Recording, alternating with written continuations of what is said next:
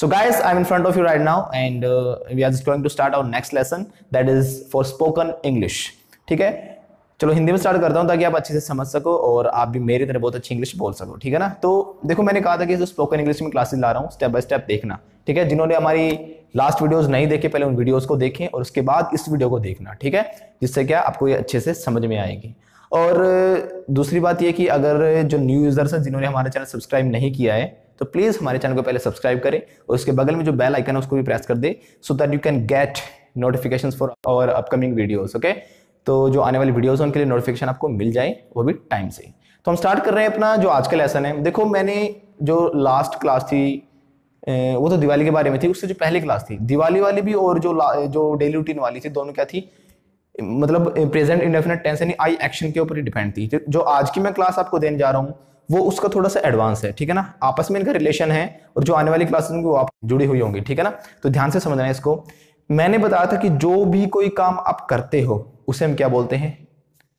आई action यानी मैं कोई भी काम करता हूँ आई एक्शन आप लोग कोई काम करते हो यू एक्शन कोई और कोई काम करता है, ठीक है? यानी थर्ड पर्सन है कोई। तो उसके लिए क्या लगाएँगे? उसके लिए मैं बता रहा हूँ। देखो, ध्यान से देखना इस चीज़ को। थ्री पर्सन होते हैं, तीन पर्सन होते हैं। आपने सुना होगा first person second person third person first person कौन होता है? आई यानी मैं। सेकंड पर्सन कौन होता है? यू यानी तुम, जो सुन रहा है। और थर्ड पर्सन होता है जो, जिसके बारे में हम बातें कर रहे होते हैं। कि मैंने कहा कि यार, देख, वो बड़ा बेकार इंसान है। जो आ रहा है ना, रोहित नाम का लड़का, बहुत ही बेकार इंसान है। तो किसी ने बोला आई ने बोला, यानी मैंने बोला। वी भी हमारा फ़र्स्ट पर्सन में होता है, क्योंकि अगर हम मिलकर बोलते हैं, ठीक है ना?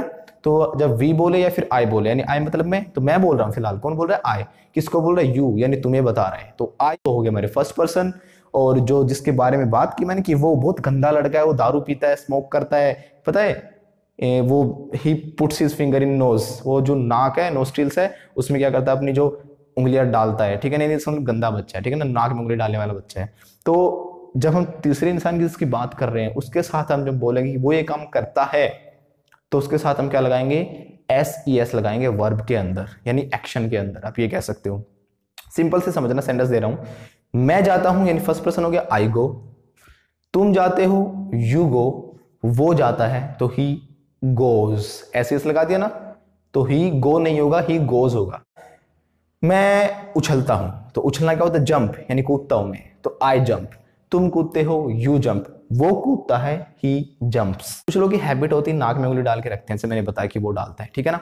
अगर मान लो मैं नाक में उंगली डालता हूँ तो उंगली डालना क्या होगा? इंसर्ट फिंगर इन नोस्ट्रेल्स जो नाक होते हैं, नाक के जो द्वार होते हैं, इनको बोलते हैं नोस्ट्रेल्स तो आई पुट फिंगर यानी आई के बाद मैंने एक्शन लगा दिया direct I put finger in my nostrils तुम डालते हो नाक में you put finger in nostrils वो डालता है तो ही पुट्स फिंगर्स इन नोस्ट्रेल्स उसके साथ मैंने एस लगा दिया ही पुट्स क्लियर है? मैं स्कूल जाता हूँ आई गो टू स्कूल तुम स्कूल जाते हो यू गो टू स्कूल वो स्कूल जाता है ही गोज टू स्कूल मैं गाली देता हूँ आई अब्यूज तो मैं मैं गाली देता हूँ, कैसे बोलूँगा? आई अब्यूज तुम गाली देते हो यू अब्यूज वो गाली देता ही अब्यूजेज यानी हम किसी और का डेली रूटीन बताएँगे तो उसमें हम क्या करेंगे? वर्ब में एस ई एस लगाते चले जाएँगे, बस कुछ नहीं करना।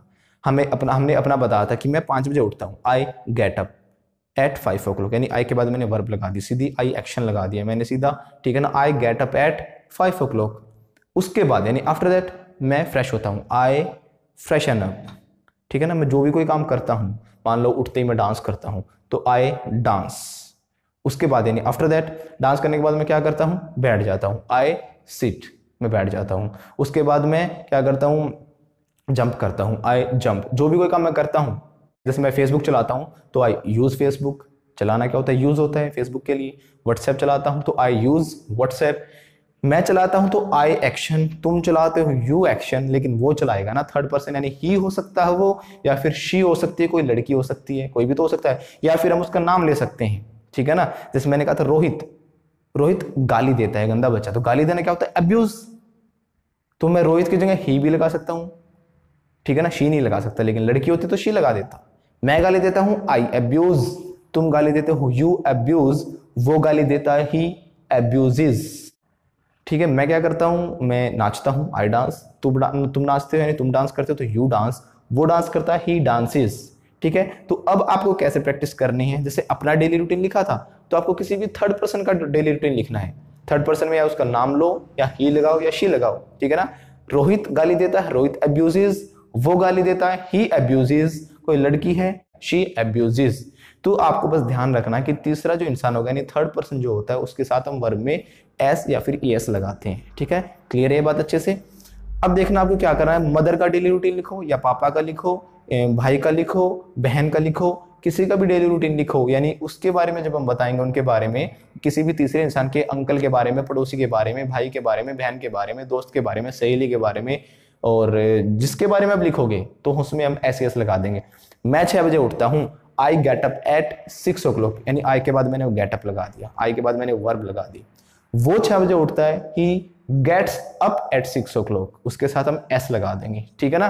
बस आपको यही काम करना है, जैसे अपना डेली रूटीन लिखा था आपने, ऐसे ही आपको अपनी मम्मी का लिख के देखना है, अपने पापा का लिख के देखना है, और बाद में क्या करना है?